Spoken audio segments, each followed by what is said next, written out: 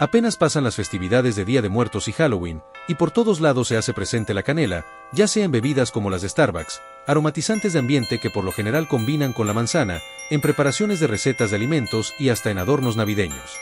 Pero, ¿qué tiene que ver la canela con la Navidad? Podría haber sido otro olor como la hierbabuena. Hoy vamos a hablar de algo que seguro ha sentido al acercarse la Navidad, ese aroma cálido, dulce y reconfortante a canela. Pero, ¿alguna vez te has preguntado por qué la canela se siente tan navideña? Acompáñame para descubrirlo. Vamos a retroceder en el tiempo. En la Edad Media, la canela era un lujo absoluto. Llegaba a Europa desde lugares exóticos como Sri Lanka y otras partes de Asia. Pero conseguirla no era nada fácil.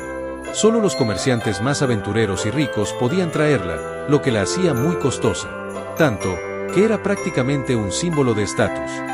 ¿Y dónde crees que se usaba esta especia tan especial? Exacto, en los momentos más importantes del año, como bodas, banquetes reales y, por supuesto, las festividades religiosas. La Navidad no era la excepción.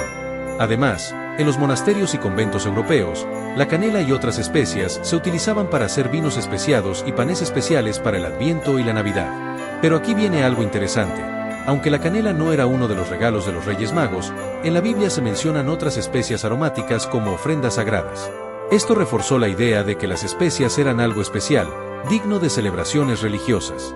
Por otro lado, en el Renacimiento, la canela empezó a aparecer en las recetas festivas de la nobleza europea. Panés de especias, postres dulces y, por supuesto, el famoso vino caliente especiado que se tomaba en invierno. Imagínate ese aroma llenando las cocinas de la época. En lugares como Alemania y los Países Bajos, los dulces de Navidad, como el Epkuchen o las galletas de especias, se convirtieron en tradición y la canela era el ingrediente estrella. Para el siglo XVII, los mercados navideños, como el de Nuremberg, ya estaban repletos de panés y galletas especiadas. Y así, poco a poco, la canela se fue asociando directamente con esta época del año. Con el tiempo, y gracias al comercio, la canela se volvió más accesible, pero nunca perdió ese toque de ocasión especial. De hecho, hoy sigue siendo la base de muchas de nuestras recetas navideñas, como el ponche, los rollos de canela y hasta nuestras velas aromáticas.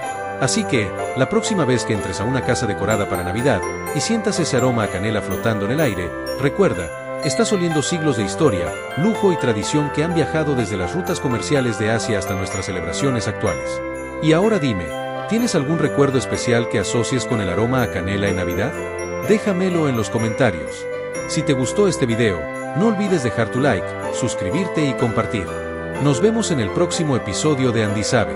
La Navidad se vive con los sentidos, y el aroma a canela es solo una parte de su magia. Hasta la próxima, y felices fiestas.